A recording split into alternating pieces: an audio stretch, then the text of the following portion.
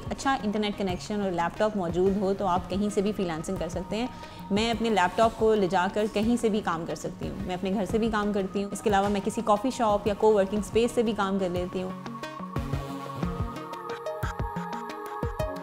Freelancing में आप data entry कर सकते हैं। अगर आपको लगता है आप लिखने में अच्छे हैं तो आप उनकी वेबसाइट के लिए या ब्लॉग के लिए या फ़ैशन के ऊपर आर्टिकल्स लिख सकते हैं। फिर इसके अलावा स्प्रेडशीट्स को फिल करना और जो है ऑफ़िस एम एस वर्ड या एम एस ऑफ़िस की जितनी भी डोमेन्स हैं, उनको ऊपर काम करना और इसके साथ साथ बेसिक ग्राफिक डिज़ाइनिंग या सोशल मीडिया पोस्ट को क्रिएट करने का काम जो है बहुत ज़्यादा इस टाइम फ्रीलांसिंग में इन है। इसके अलावा कुछ ऐसी कंपनीज़ हैं जो अपनी नेल पॉलिशेस के नाम रखने के लिए फ्रीलांसर्स को ढूंढती हैं और उनसे एक ऐसे यूनिक नाम रखवाती हैं और उनको पे करती हैं इस काम के लिए। वो काम जो अगर आप पाकिस्तान में किसी कंपनी के लिए करें वो बहुत काफ़ी ज़्यादा मल्टीप्लाई होकर आपको रिसीव होती है जब आप वो काम डॉलर्स में करते हैं।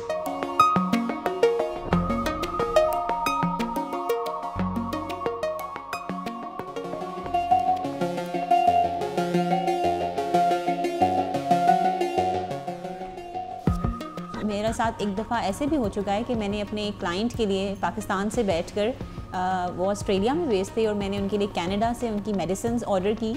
और अमेरिका में एक दफ़ा उनके लिए डॉक्टर्स के साथ उनकी अपॉइंटमेंट भी फिक्स की।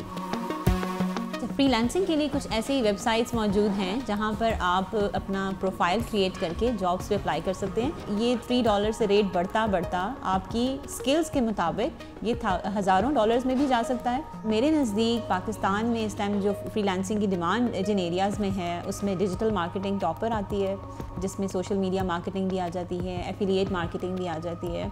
और इसके साथ साथ सॉफ्टवेयर और ऐप डेवलपमेंट जो है, इस टाइम बहुत डिमांड में है। सबसे इंपॉर्टेंट जो है इस टाइम पेमेंट के इश्यूज़ हैं, जो पाकिस्तान में फ्रीलांसर्स को फेस करने पड़ रहे हैं। इस कमी को दूर करने के लिए इस टाइम हमारे पास कुछ ऐसे ऑल्टरनेटिव मौजूद हैं, जिसके थ्रू आप अपनी पेमेंट्स रिसीव कर सकते हैं।